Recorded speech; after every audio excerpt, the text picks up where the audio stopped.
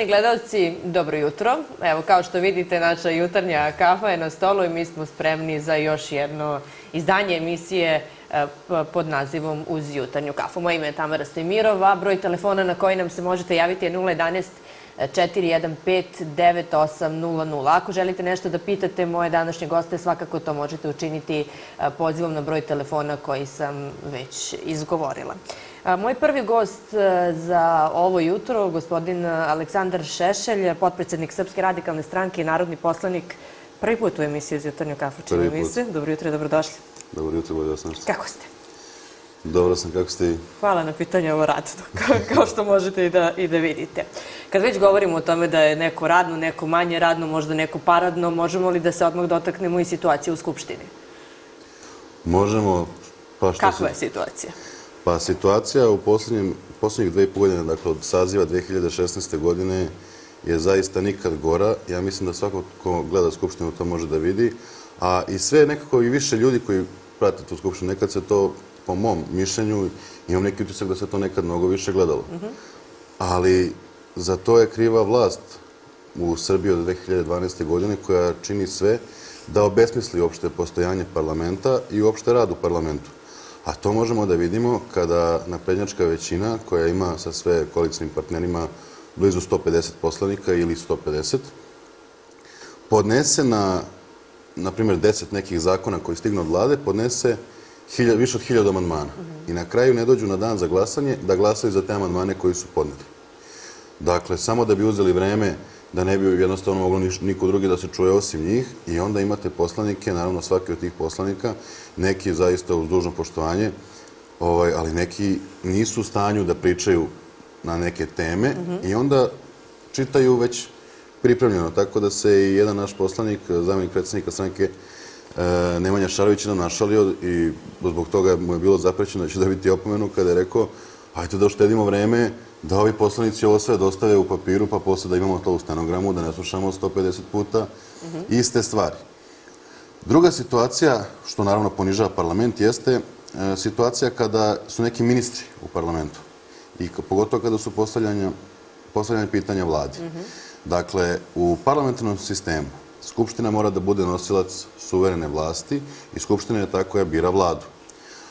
A imate situaciju da, su, da je Skupština podređena ministrima i vladi i to se najviše vidi kada dođe posljednji četvrtak u mesecu i kada e, naprednjačka većina koja je podeljena na nekoliko poslaničkih grupa svoje vreme koje treba da, da koristi, da kritikuje vladu, da nešto predloži, da ukaže na neke stvari, koristi da, za hvalospeve ministrima, pogotovo ministrima iz tih stranaka iz koje mm -hmm iz koje dolaze. Dakle, potpuno, potpuno besmisleno. I uopšte, takva neka situacija gde na svaku kritiku se, kada se nešto, i, mislim i konstruktivno, znate, kada smo imali zakon o presađivanju organa o obaveznoj transplantaciji. Tu ste imali okršaj sa lončarom. Jeste, ali, ali to, mislim, to je bilo pre sad mhm, pauze. Uh -huh. ovaj, naprimjer, to je nešto što je zdrav razum i logika.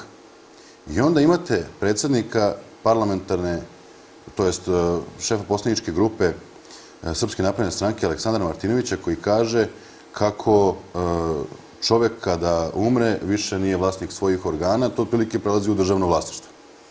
Dakle, dokle to ide, koliko je to neko ludilo. I uopšte obesmišljen je rad i postojanje i jednostavno, to je možda naravno simbol ovog saziva, jeste to zvono. Mhm. Dakle, ne znaju o čemu se radi, ne znaju šta je na dnevnom redu ne znaju uopšte vrlo ili vrlo malo znaju o tome i onda samo jednostavno reaguje kada se pritisne to zvono. To je, po mom mišljenju, veoma ponižavajući. Nećete naći nigde primjer, ne samo u Evropi, nego u svetu, da je to tako. I jednostavno i ne obaziru se na kritike. Dakle, kažete, znači, nije mogu, nije, ovo nije prirodno da se to radi. Uh, imali ste do 2012. pre nego što su naprednjaci došli na vlast. Isto tako poslovnik koji je donala demokratska stranka koji se i sad koristi, zato što kako su razmišljali Konstantinović i Gordana Čomić kada su donosili taj poslovnik, oni su razmišljali da demokratska stranka nikad neće pasti sa vlasti i da će njima to da odgovara. Među vremenu vlast se promenila i onda je taj nakaradni poslovnik koji daje sva prava skupštinskoj većini umjesto da bude obrnuto, jednostavno krenuo da se upotrebljava kao neka batina za, za opoziciju i za opozicijone poslanike. A ono što je nekako bilo isto prirodno da kada, na primjer, ovako ima jedna stabilna većina, 150 zaista mnogo poslanika, glavna mesta u odborima skupštinskim se daju za, e, zamjenika predsjednika i predsjednika odbora daju se opoziciji. Tako ste imali neke poslanike iz opozicije i što, je, što tako i treba da bude, zato što osim zakonodavne funkcije i izborne funkcije postoji kontrolna funkcija parlamenta. Dakle, opozicija treba da bude ta koja saziva odbore, koja kontroliše predloge i koji saslušava na odborima ministre i ostale državne službenike. Vi ste imali situaciju da samo ima dva poslanika koje su predsjednici odbora koji nisu iz redova vladajuće većine. Do nedavno to je bio ovaj jedan iz dveri, čini mi se da se preziva Kostić, i drugi je e, Nenad Čanak, koji je samo formalno, dakle, opozicija. I sve ostalo drže, dakle, poslanici SNS i SPS. Dakle, ni to ne daju nekome da, da uopšte nešto uradi, da poboljša taj skupštinski rad, već i to su nekako sveli na nulu, to su nekako ugasili. Jednostavno, kad ne, neko može da gleda skupštinu i da kaže kako je bilo dok je to radila, dok je to vodila Slavica Đukić-Dejanović i Gordana Čomić, stvarno i tada je situacija bila katastrofalna, ali ne može da se poredi s ovim što je danas. Sve vreme čujemo upravo to. Bila su loša vremena, ali nikad nije bilo ovoliko loše. Pa- konstantno se od strane opozicije, pa i oni koji su nekad bili u vlasti, kažu ja, upravili smo greške, nije bilo dobro, ali ovako nije bilo nikad. Pa ne, ovo što, stvarno što se tiče Skupštine, ja mislim i pogotovo, verovatno i stari gledalci, mogu da uporede nekad kako je to izgledalo. A bilo je konstruktivnih rasprava, jel? I jednostavno, to nije, ovo sad više nije za gledanje. Dakle, kad gledate 150 i nešto ljudi koji koristi po dva minuta da kaže istih pet rečenica, ja mislim da to stvarno nije za gledanje. I to im je nekako cilj. I cilj im je jednostavno i ne zanima ih da, da se to ne gleda, da je to sve više marginalizovano.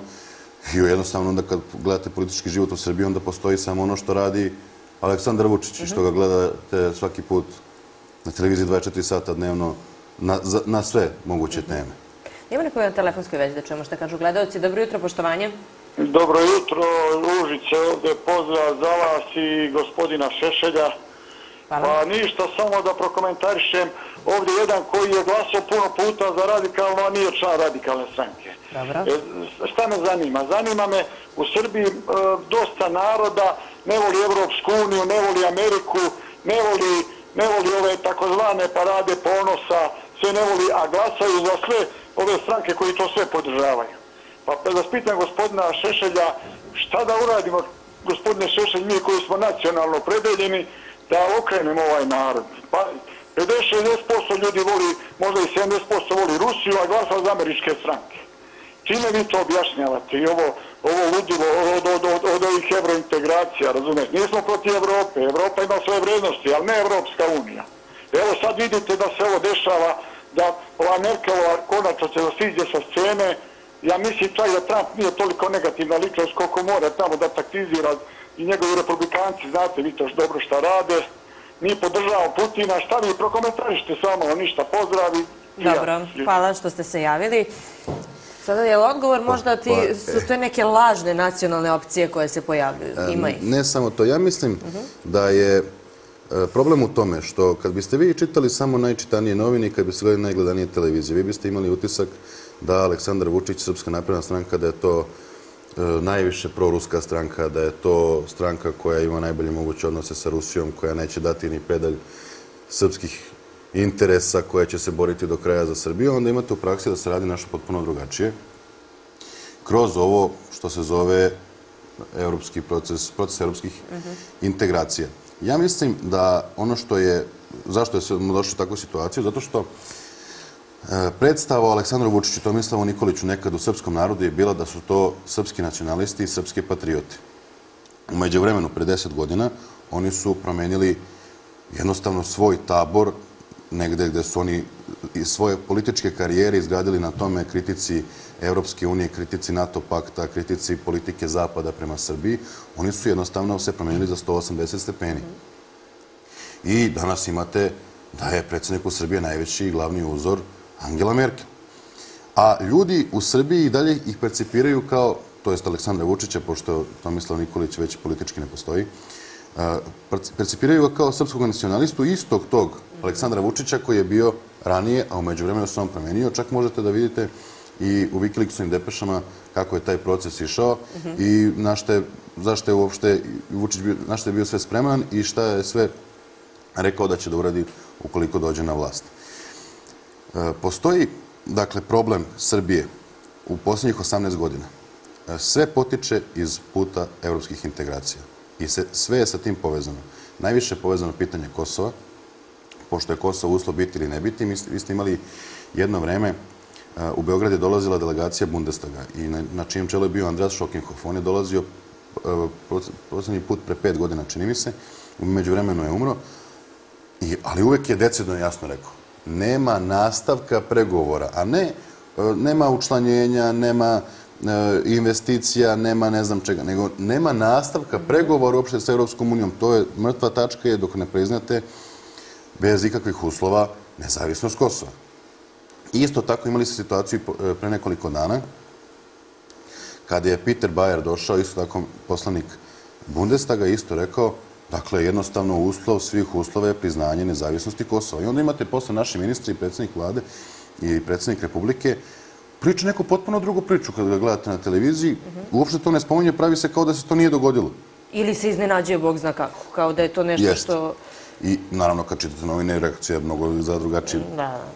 Ali e, gledate da jednostavno mi sad danas lažemo, ako se tako ponašamo, lažemo sami sebe. Ako nam oni kažu da je uslov svih uslova priznanje nezavisnosti Kosova, a mi se pravimo ludi da pričamo o poglavlju 23, o poglavlju o ekologiji ili tako dalje, jednostavno to malo nije normalno. A imali smo, čuli smo to jest juče, znate, Angela Merkel je simbol Evropske unije kako mi poznajemo, dakle, već, ja mislim, čini mi se 12 godina da je na vlasti, 18 godina predsjednik Hrišćansko-demokratske unije u Nemačkoj i ona sad više odlazi u političku penziju, izgubila je sve izbore, nema više podršku u Nemačkoj i tako dalje. Posle ovog mandata više se neće ni kandidovati. E, Angela Merkel je osoba koja drži danas Evropsku uniju na okupu. Već bi se ta Evropska unija davno raspala da nije toliki ekonomski interes Nemačke za održavanjem te unije. A vidimo da narod u Nemačkoj više to ne želi. Iz različitih razloga. Dakle, kad bi se sad zapitali, prvo niko ne može da nam garantujem da ćemo bilo kad postati član Europske unije, a onda morate da vidite eh, i nemački ministar financija Wolfgang Schäuble, on je izložio predlog Kern Europe, to jest Europe u više brzina, gde bi prva brzina bila te najbogatije, ekonomski najmoćnije evropske države, druga brzina neka periferija evropska, kao što su, na primjer, Španija, Portugalija, Italija i Grčka, i treća brzina, taj neki evropski baš i najsiromašnije države, potencijalni izvori jeftine e, radne snage, potencijalni parkinzi za migrante i tako dalje. Dakle, mi kad bismo i postali jedan dana član Europske unije, mi ne bismo bili ravnopravni sa ostalim zemljama, već bi bili u uniji sa Rumunijom, Bugarskom, e, Baltičkim državama, Albanijom, Makedonijom, Crnom Gorom i tako dalje. Dakle, to jednostavno ne znam ko bi mogo da nam kaže da je to naš bilo kakav i politički i ekonomski interes. Ono što je najpoganije, po mom mišljenju, jeste što smo vidjeli da je Aleksandar Vučić u intervju za Reuters rekao da je spreman da potpiše sve obuhvatni i konačno vekovni mir između Srbe, Albanaca i tako dalje, ali da se garantuje da će 2025. Srbija postati član Evropske unije. Prvo, davanje teritorije toj e, parakriminalnoj organizaciji koja danas, koju danas nazivamo jel, Republikom Kosovo ili se ona naziva Republikom Kosovo, Eh, jednostavno to ne može da se meri sa učlanjenjem bilo koje međunarodne organizacije, to su neke stvari koje nisu uopšte iste vrednosti. A i da može, ko danas može da garantuje Vučiću ili bilo kome u Srbiji šta će biti za sedam godina u Europskoj uniji, kada su u Europskoj uniji na čelo birokrate, koje niko nikad nije izabrao i koji dolaze redom u Beograd, kao što je, na primjer, Juncker, kao što je Donald Tusk, kao što je Johannes Hahn, David McAllister i tako dalje, tapšu Vučića po leđima i govore kako jeste Dakle, reforme su fantastične, ovo zaista je nešto neviđeno, ekonomski tigar na Balkanu, faktor mira i stabilnosti. I onda imate u Europskom parlamentu francuski predsjednika Macron, koji je možda naj, najjača politička ličnost u, Europsku, u Europskoj uniji u ovom momentu, gdje kaže neće više biti proširenja. I šta je onda ima veću težinu? To što kaže francuski predsjednik ili što kaže neko čije ne znamo ni ime i neće ga biti posle već izbora u maju za Europski parlament 2019. godine. Tako da... Ja, moguće da Vučić sada ne zna šta je teže, ne, čija je... ja ne mislim da je da jednostavno. Ja mislim da uh, Vučić kada je dolazio na vlast nije baš toliko razmišljao daleko i nije se možda zamišljao sad u ovoj situaciji u mhm. kojoj a napravio neke, naravno, katastrofalne postupke do tada. Ja mislim da je vreme da, kad bi u Srbiji bila odgovorna vlast, da razmisli malo o spoljno-političkim prioritetima, da malo prestane da gleda od danas do sutra ili od izbora do izbora, već da gleda šta bi bilo u sljedećih 10 ili 15 godina, dakle sljedeća generacija, šta, kakva će ta situacija biti, a ne samo kako će to da utiče na nečiji rejting. Da, možemo li ošto da predvidimo šta će se događati za 10 ili 15 godina, osim toga da nam govore ući ćete u Evropsku uniju 2000, koje, 27. Dakle, ili to koje već nije, važno. Jednostavno, to je, to je neko ono, to je igranje, to je, to je nešto što je toliko bez veze da, dakle, kako vi možete uopšte da utičete na, na, na odluke nekih institucija koje jednostavno vas gledaju kao samo neki objekat za iskorišćavanje u smislu dakle, jeftine radne snage, e, bez carinskog tržišta i eventualno parkinga za migrante. Videli smo da je to sad skoro postala tema. A i sad kad pogledate, na primjer, nekad je glavni čovjek u toj Evropskoj uniji bio Herman Van Rompuy. Ja mislim da niko se više niti njega seća, niti zna kako on izgledao i tako dalje. Jednostavno, to su birokrate, ljudi koji imaju ogromne plate u Europskoj uniji, koje niko nikad nije tu izabrao, koji su samo na tim misle da su Bogom dani i onda dođu i pričaju nama ovde o našoj spojnoj politici, našoj budućnosti i tako dalje. Jednostavno, ne kažem ja, ovo što je gospodin koji se javio rekao jeste, to je stvarno isto velika greška, ali to je kriv, kriv režim od 2000. godina, Vučić je to nastavio, po istovećavanje Evrope i Europske unije. Mm -hmm. Pa, prvo, civilizacijski srpski narod pripada Evropi, pa onda i geografski. A, Evropi, termin Evropa je mnogo širi nego Evropska unija. Dakle, evropska kultura, evropska istorija ne može da postoji ni bez naroda koji su koji ne čine tu Evropsku uniju. Naprimjer, bez Rusije. Rusija je par excellence jedna evropska država. I to pogledajte i kroz kulturu i kroz istoriju. Dakle, jednostavno nisu to, to nisu sinonimi.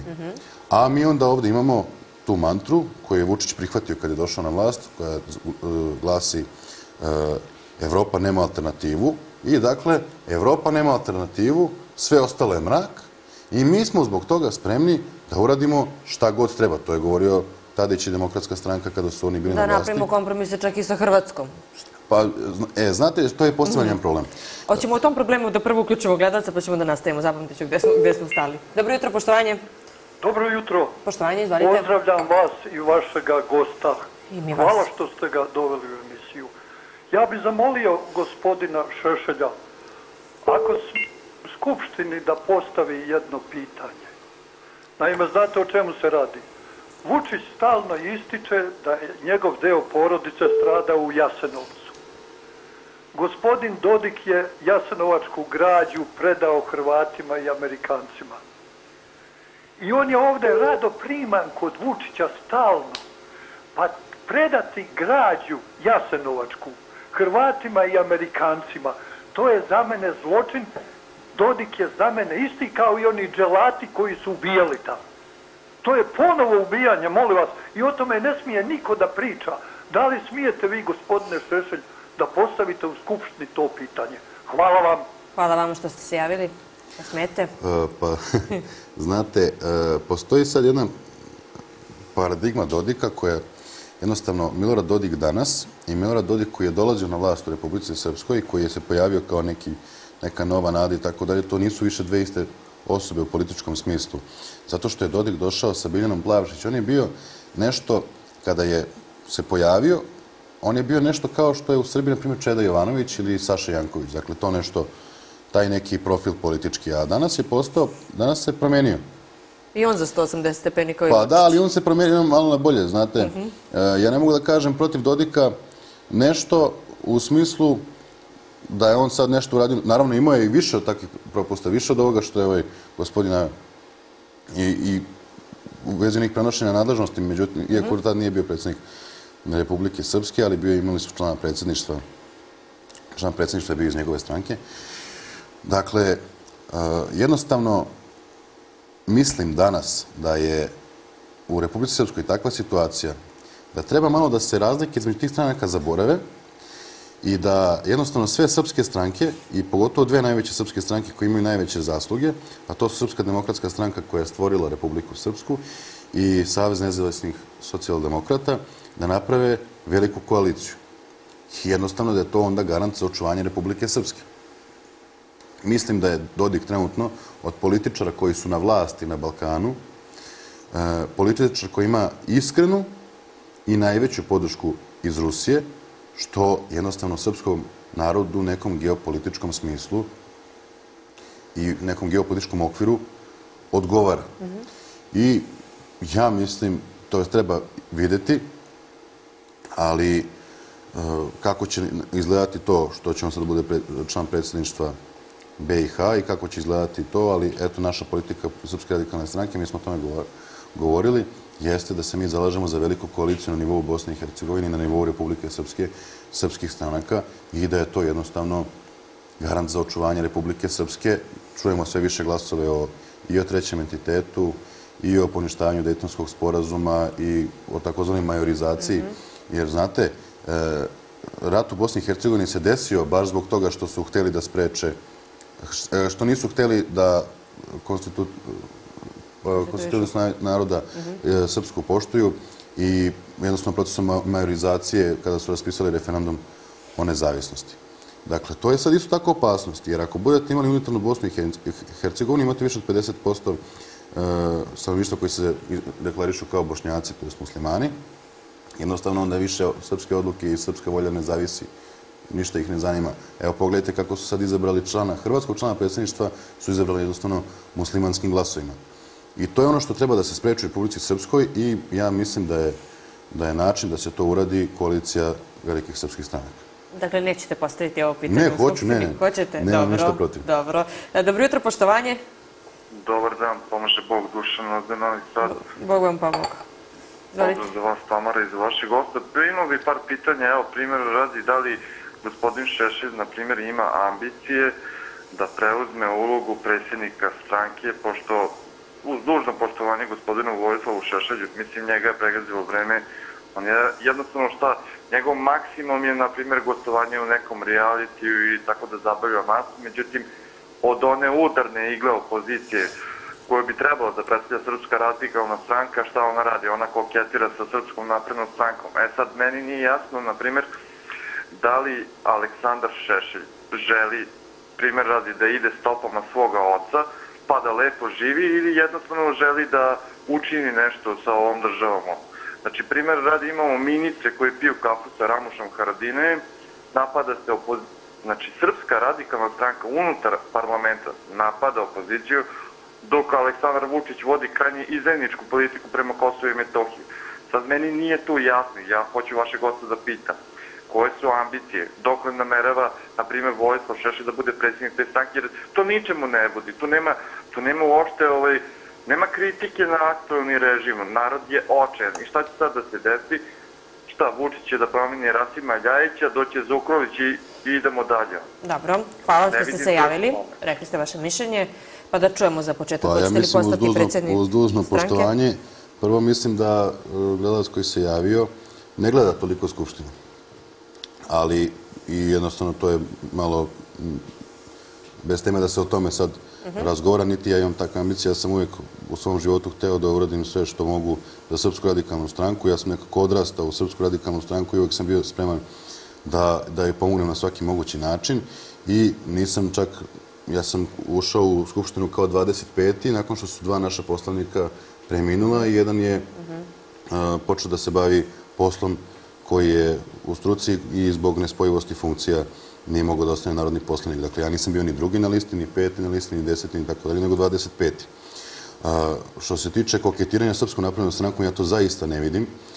E, jednostavno, nema, oni su prvo, da je to tako, mi bismo za ove dve i po godine stigli nekad, kada je posljednji četvrtak u mesecu, da postavljamo pitanje vladi, da kritikujemo ministre, to se nijednom nije dogodilo, jednostavno zbog Maje Gojkovića i zbog načina na koji ona vodi parlament. I u vreme dok je Vučić bio premijer i sada dok je premijer Ana Brnabić. Ne mogu tačno sad da se setim šta je još ovaj gospodin rekao, ali znate, ako ja, ako mi kao stranka imamo jedan veliki problem, a to je što mi dugo pamtimo. I što mi ne možemo sada da nekad prečutimo i ne možem, i kada neko dolazi iz ove takozvane prozapadne opozicije, mi se sećamo kakvi su oni bili dok su oni bili na vlasti. Bili su isti kao Vučić ili su bili gori od Vučića. A to, znate, vezano za Ramuša Haradina, ja sam se javio, u, imao sam uključenje u Rusku televiziju 24 povodom ovoga što je e, Tači izvršio desant na Gazivo i tamo se vozio čamcem, onim pravio predstavu i tako dalje. I povodom onoga što se desilo u Kosovskoj Mitrovici kada su priveli Marka Đurića i tamo ga šetali po Prištini.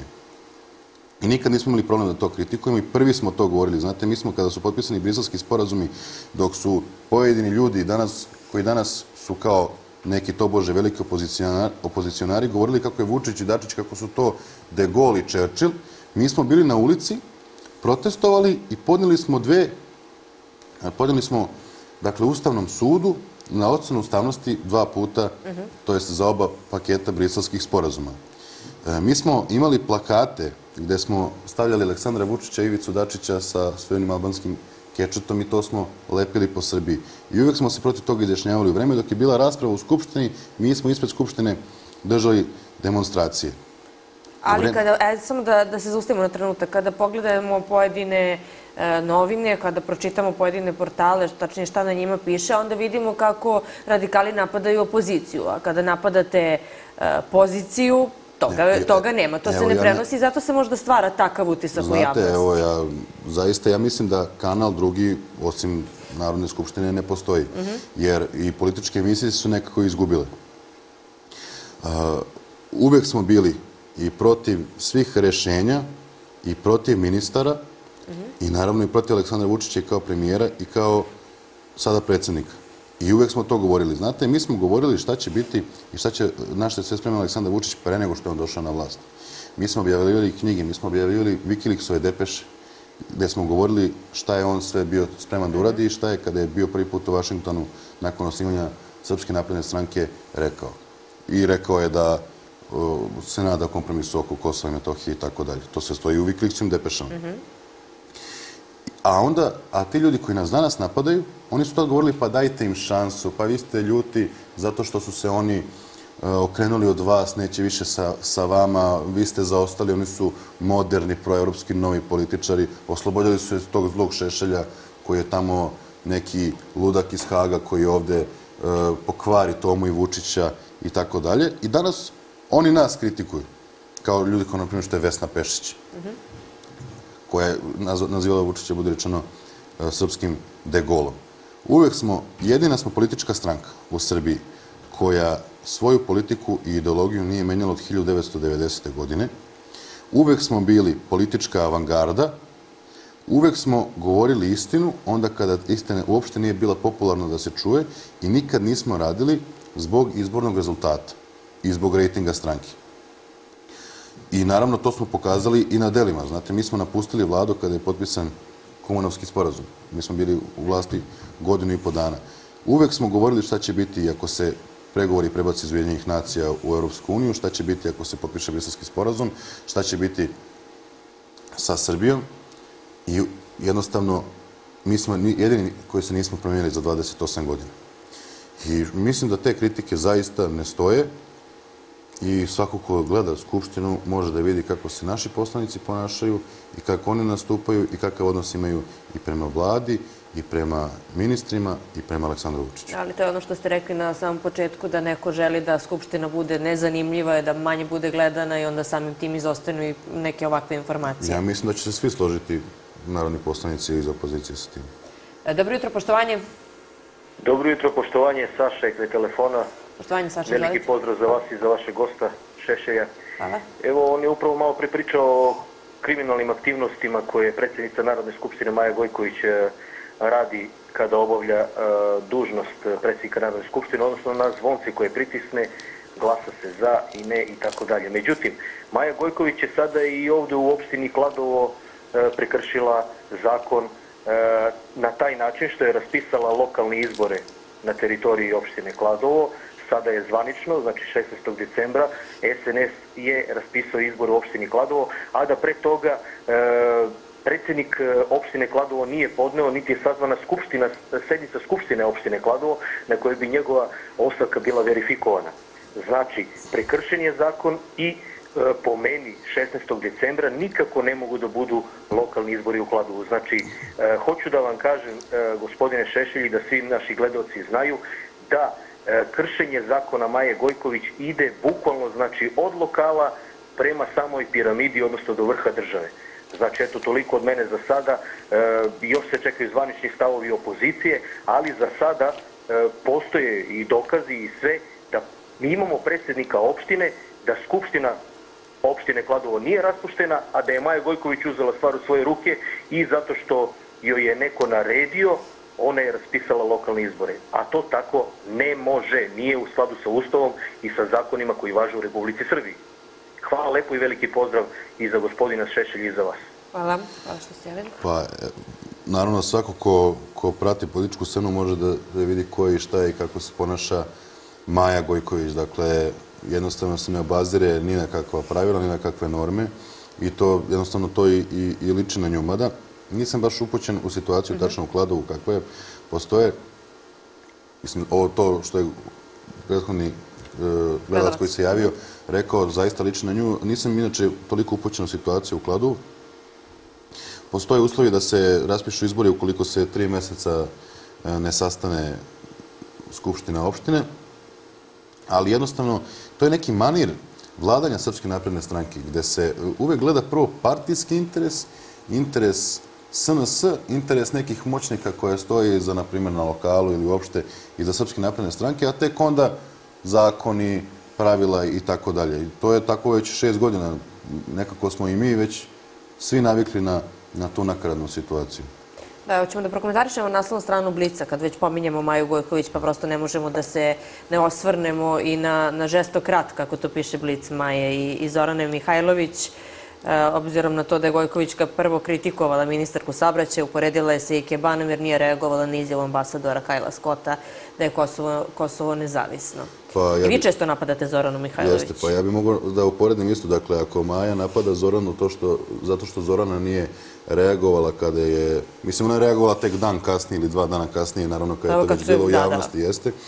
E, mi smo napali Maju Gojković u Skupštini kada je Nenad Čanak kao e, predsjednik odbora za evropske integracije i njen saradnik e, pozvao delegaciju takozvanog Kosovskog parlamenta, između ostalog kao goste u Beograd da budu, znači, poslanici stranke Ramuša Haradinaja, Hašima Tačija, Aljbina Kurtija i tako dalje, da budu gosti odbora za evropske integracije u Skupštini Srbije, znači u Domu Narodne skupštine u Beogradu.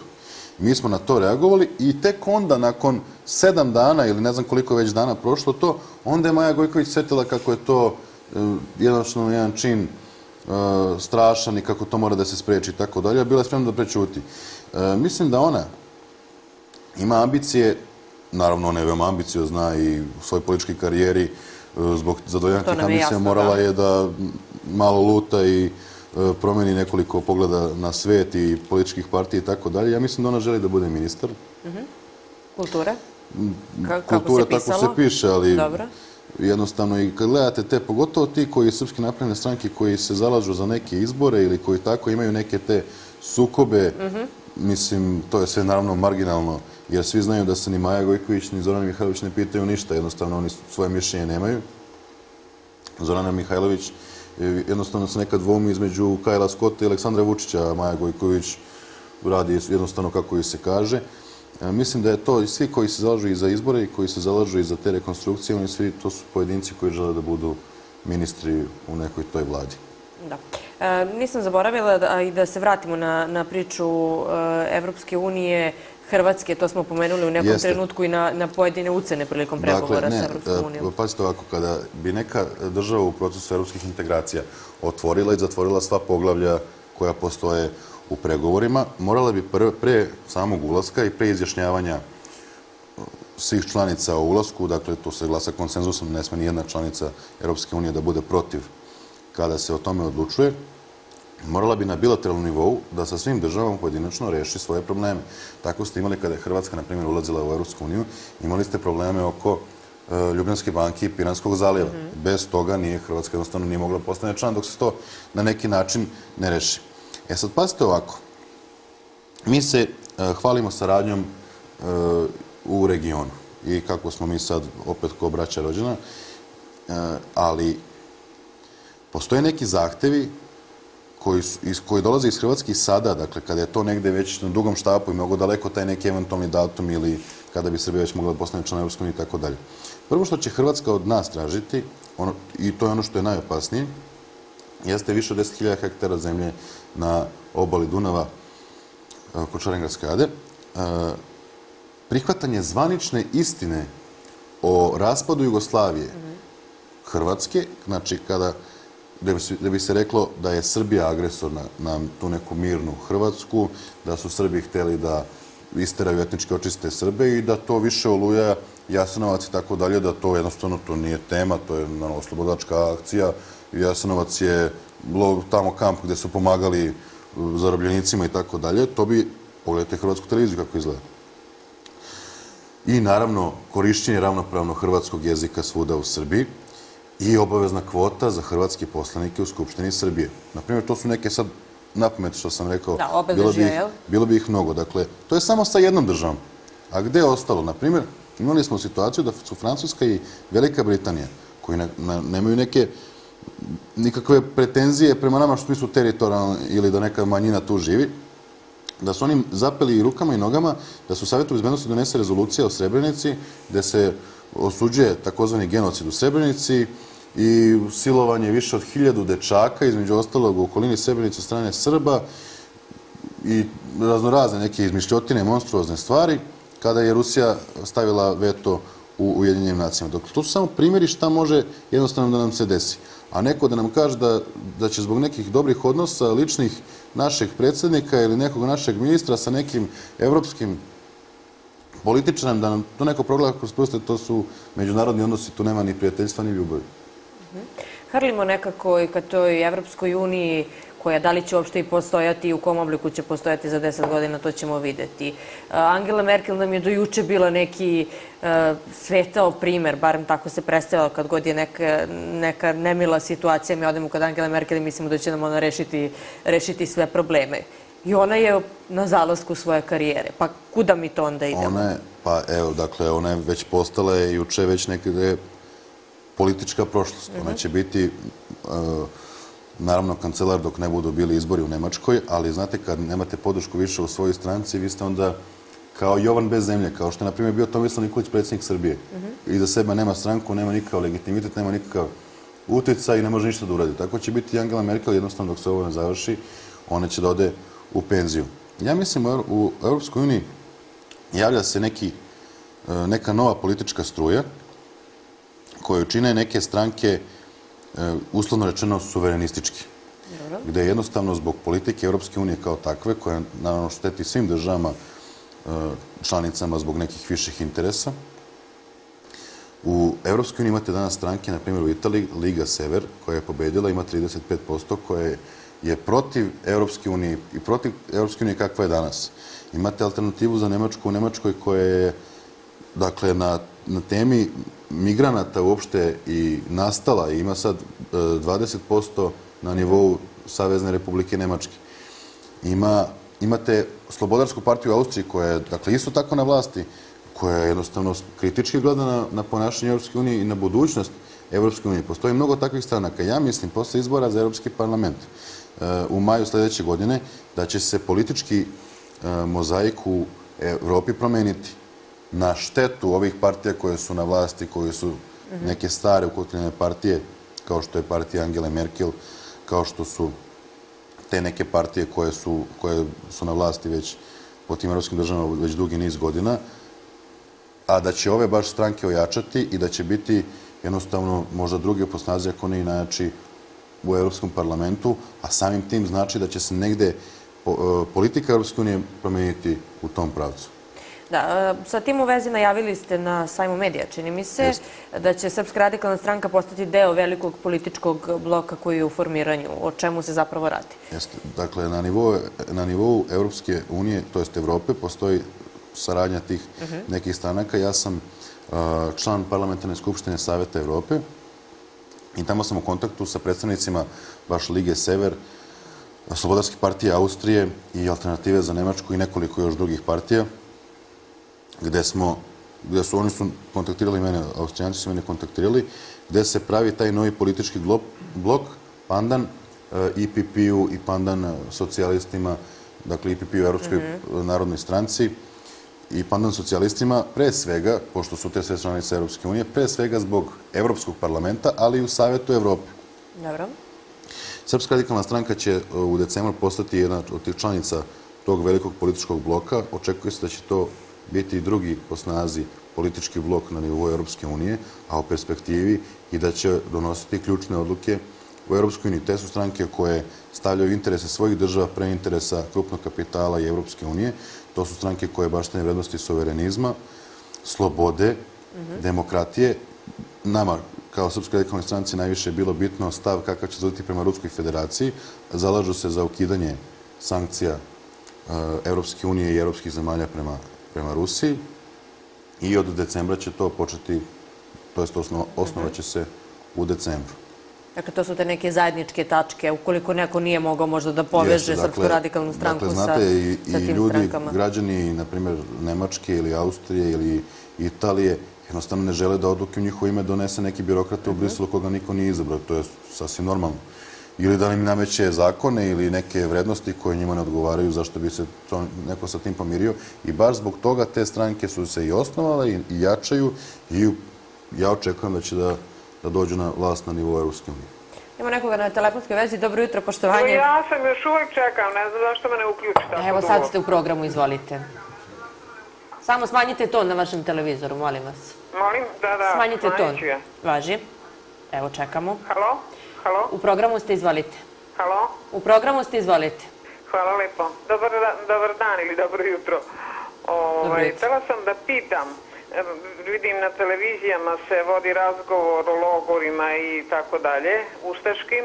Niko ne spominje logor koji je postojao u Otošcu, ja sam rodom otuda, to je Lika. Ovaj, mi smo godinu dana bili, jeli smo hleb sa betona, to je neki cvibek, bio tako smo ga zvali, ja sam bila dete, ali se, imam e, gorka sećanja. E, išli smo u dvorište u WC, gazili po, po ovaj, izmetima i tako dalje. E, da ne pričam sve to, bilo je hladno, moja se sestra razbolala, umrla. Ovaj, a pre toga smo bili šest mjeseci u šumi, u kapeli gdje je sneg bio, tamo napada sneg i po metar i po dva metara. Zima je bila, šest mjeseci smo se smrzavali, ustaše su došli, našli su nas, prevarili su nas, rekli su da idemo svojim kućama. Međutim, oni su nas u koloni sproveli za otočac, za taj logor, to je 40 km od našeg mesta i ovaj, to niko ne spominje, recimo, ja nisam nikad čula. To je jedna stvar. A druga stvar, kako to da Mađari e, ne traže u Rumuniji, ima i 2 miliona Mađara, u Rumuniji ne traže državu kao što traže recimo naši Albanci. Mislim, to je jedno, moglo bi se reći, aktuelno isto pitanje, odnosno usporedba sa, ovim, sa ovom našom situacijom, a da sad ne govorim dalje, Grčka, ne znam ni ja šta. Eto, toliko, hvala što ste se javili. Hoćemo prvo na drugo pitanje. Ne, ne, ne, nego mhm. naravno je potresno ovaj, mhm. čuti bilo šta, ali jednostavno takve stvari više nisu popularne. Mhm. Takve stvari nisu moderne. To nije dobro za E, naš, našu stabilnost i ekonomski razvoj i bud, evropsku budućnost da se govori o takvim stvarima. Sad ste ironični, Najbolje bi bilo da se to mm -hmm. zabori, pa ne, pogledajte, mislim, upalite televiziju, to, pogledajte, to je zvanična politika, imate samo jedan, jedan dan u godini kada se pravi dakle, obeležavanje oluje. Ja mislim da to treba da se obeležava i to je nešto što je počeo Vučić da radi i mislim da je to u redu. Ali svih ovih ostalih dana, dakle, mi smo sad postali kao braća rođena, kao da se nikad ništa nije desilo između nas, kao između nas i pogotovo režima u Hrvatskoj, dakle, koji zastupa otvorene ustaše, HDZ jedna proustaška stranka.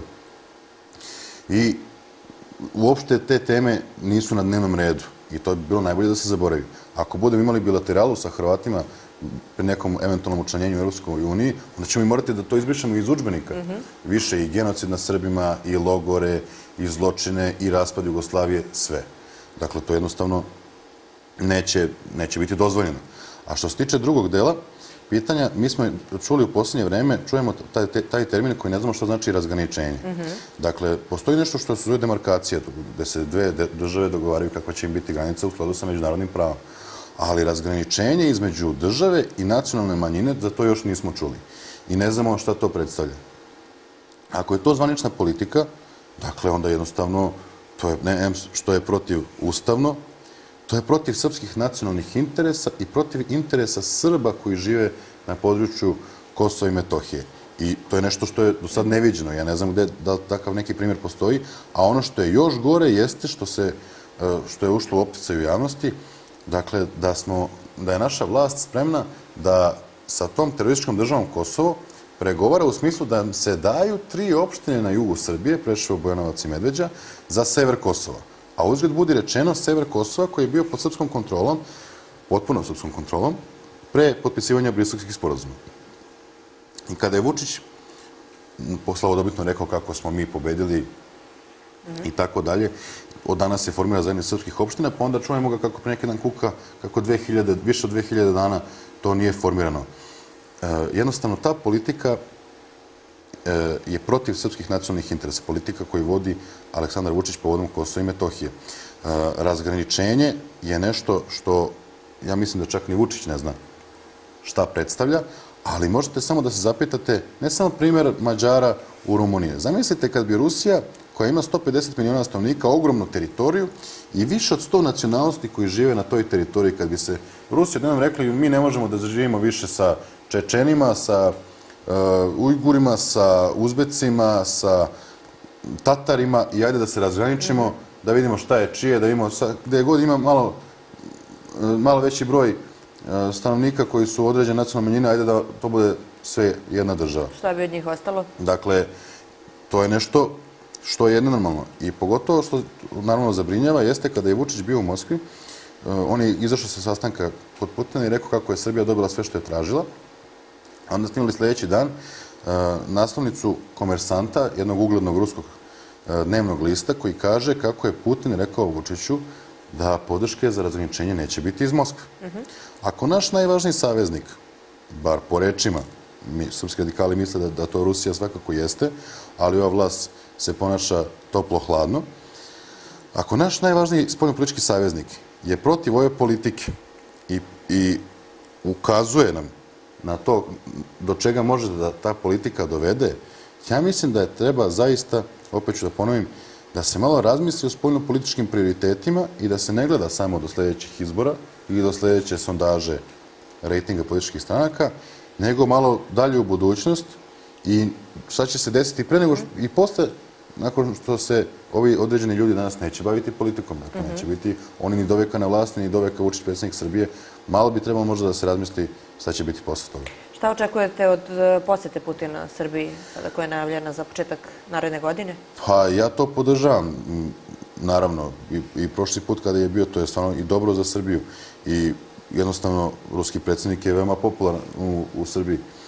A, ali mislim da ako će se od toga napraviti neka politička promocija Aleksandra Vučića, to može jednom da bude loše. Vi ste, vi ste vidjeli, na primjer, kuriozitet Tomislav Nikolić kada je bio predsjednik Srbije, on je mislio da to što je on tako toplo primljen u Moskvi, u Pekingu ili bilo gde, da je to zbog njega. Mhm. I da je to, da su onda oni lični prijatelji sa, sa predsjednicima tih država i tako dalje. Ja mislim da to Vučić isto tako radi. Ja mislim da Vučić predstavlja javnosti uh, sliku u kojoj Putin dolazi u Srbiju zbog Vučića, ne zbog Srbije, srpskog naroda, nego zato što jednostavno oni su mnogo dobri prijatelji. To je naravno pogrešno i kroz istoriju mi imamo e, tradicionalno dobre i bratske odnose sa Rusijom, sa Ruskom federacijom. Mislim da to tako treba da ostane i to, to postoji gledamo u tom svetu.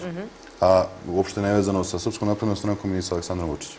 Dobro, kao što ste rekli, u, u jednom trenutku ne menjate vašu politiku, isto ste govorili pre 20 i koliko, 20 Znate, a, nekad, su nama, ne, nekad su nama govorili da smo mi ludi kada smo go- zagovarali e, e, političku saradnju i političku integraciju sa Ruskom federacijom u vreme dok je bio Jelcin, predsjednik Rusije, kada se Rusija raspadala, kada su granatirali e, sedište vlade u Moskvi. Dakle, Rusija je bila na kolenima, mi smo i tad bili proruska stranka. A ne sada, kada je Rusija možda čak druga najmoćnija zemlja na svetu, ali sve, svake godine njen, njen ovaj uticaj e, raste i sve jače i jače. Ne, ne uzimajući obzir to da, da ovaj, pokušala je da se sputa i sa tim sankcijama i tako dalje, i sa optužbama za tu aneksiju, da je jednostavno izašla iz toga još jače. Pogledajte, rublja je sada na istom nivou kao i pre nego što je, su sankcije uvedene Rusiji. Tako da je naša politika je bila ta orijentacija k Ruskoj federaciji, što veća integracija sa Ruskom federacijom, e, sa, u Euroazijskoj uniji i u odboru za kolektivnu bezbednost koji je vojni savez na čime je čelo Rusije. Hvala gospodine Šešelj što ste ovog jutra izdvojili vreme za našu Balkan televiziju. E, Poštovani gledalci, u nastavku emisije slede najvažnije vesti iz zemlje i svijeta koje su do ovog trenutka obeležile današnji dan. Ostanite uz program naše Balkan televizije.